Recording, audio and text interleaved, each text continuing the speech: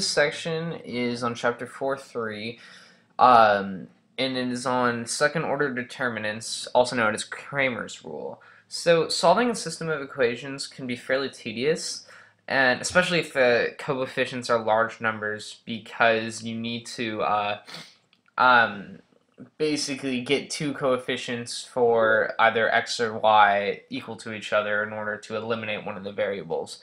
So when the coefficients are large numbers, this can be pretty tedious. But it turns out there's a pattern that you can solve basically mentally, and it will allow you to solve the system in a much easier way. So the general system of a linear equation is going so I'm first going to go through basically the proof of um, this rule and how Cramer's rule works using variables, and then I'll do an example problem that will probably put it in on more clear terms. But basically, the general, the general system of a linear equation with two variables is going to look like ax plus by equals c. And then the second equation is going to be dx plus ey equals f. where A, B, C, D, E, and F are all going to be coefficients. So let's say that we want to eliminate y here. In order to eliminate y, we're going to have to multiply this first equation by e and the second equation by b because that way these two will be the same number and then the y coefficient could be can be eliminated. So we're going to multiply this side by e, I'm going to write me to meaning multiply by e, and this will be multiplied by b, so we're going to write mb here. And you're going to, we're going to get uh, aex plus bey equals ce. Then right here we're going to get uh, bdx plus um, BD plus BEY equals BF. Then we can subtract these two equations and we're going to get AEX, whoops, we're going to get AEX minus BDX and then uh, these two are going to subtract and cancel, so this is really just going to equal CE minus BF. From this point, we can actually factor out an x from the left side. So we can say this is equal to x times AE minus BD, and that is going to equal CE minus BF. So that means that x equals CE minus BF over AE minus BD.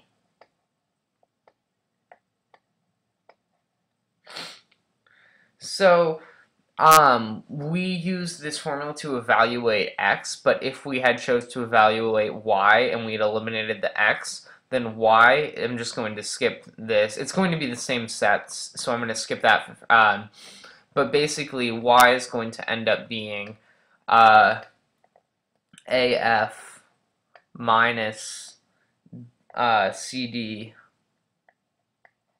over AE minus BD.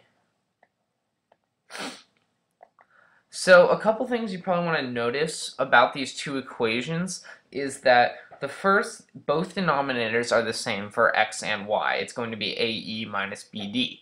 Uh, the second thing is that the numerator for x does not contain x coefficients. Uh, because the x coefficients were a and d, yet the numerator contains c and b. Um, while the numerator for y also does not contain y coefficients because it has the x coefficients here.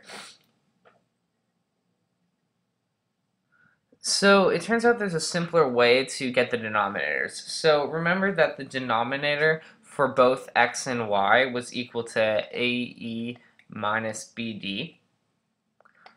Uh, the way to get the denominator is called a, det a determinant. and we're going to say that d standing for denominator is going to equal and then this is a second order determinant and it's a square array of numbers that is expanded or evaluated according to this rule which we call Cramer's rule. So what we're going to do is we're going to set up this uh, array of uh, numbers and it's going to be the coefficients of x and y. So we're going to have a, d, then b, e. And then expanding this, we're going to multiply the top left by the bottom right and then the top right by the bottom left and subtract. So this will be equal to AE minus BD, which is the value of the denominator.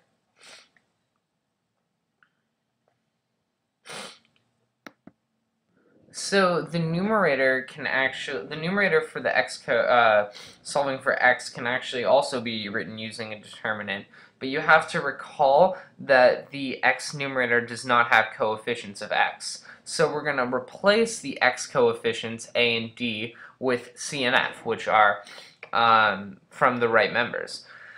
So we're going to say nx, which means the numerator of the uh, x term is, or of x is going to equal this determinant of, and we're going to replace AD with CF because it does not contain coefficients of x. So we'll have CF then BE. And then finding the numerator of, or first expanding this out, it, you expand it in the same way, and we're going to have CE minus BF.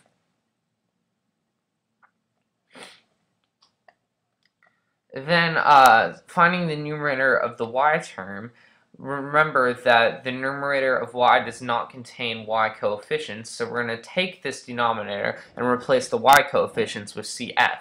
So we'll have AD then CF. Then expanding this out, this will equal AF minus CD.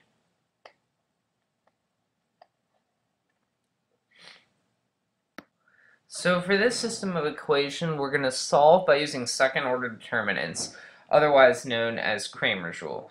So the first thing that we're going to want to do is figure out the denominator for both the x and uh, y variables.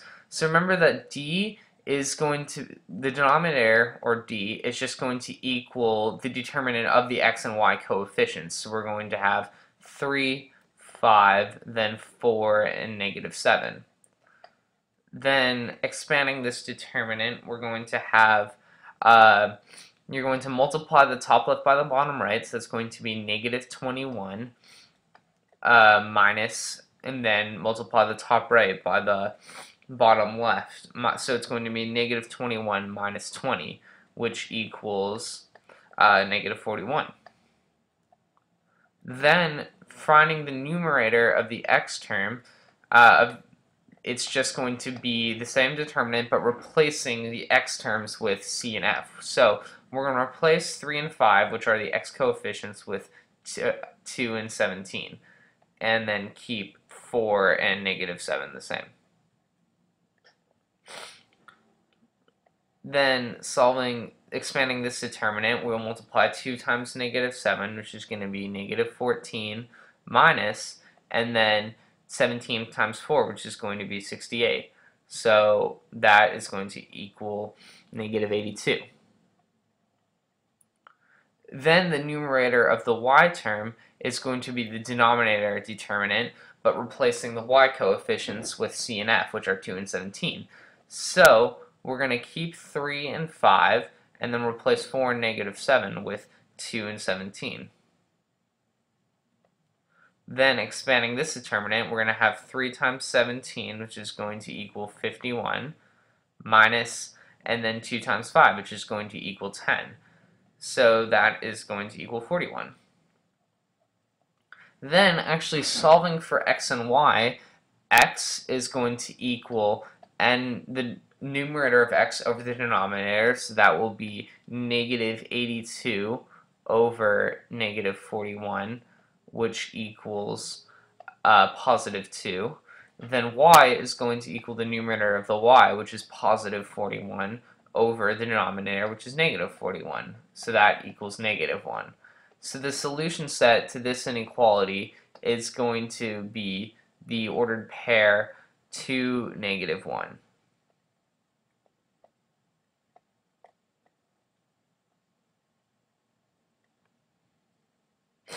So that concludes this section on solving systems of equations with Cramer's rule. So the main things you want to remember is that the denominator is just going to be the coefficients of x and y, setting them up as um, d, if we have the equations ax plus by equals c, and um, e, uh, uh in d, whoops, let me erase that, and then dx plus ey equals f, then the denominator is going to be the determinant of just the coefficients of x and y, which is going to be a, d, b, e. And then so, uh, solving this, or expanding this determinant, this is going to equal a, e minus b, d. The numerator of the x term is going to be uh, the same as the denominator, except we're going to replace the x coefficients with c and f. So we'll have cf, then be, which expanding equals ce minus bf. And then the numerator for the y is going to equal the same determinant as the denominator, except we're going to place the y coefficients with c and f. So this will be a d, then cf. And then expanding this is going to equal af minus cd. Then x is going to equal the numerator of the x over the denominator, so that's ce minus bf over ae minus bd. And y is going to equal the numerator of the y over the denominator, so af minus cd over AE minus BD.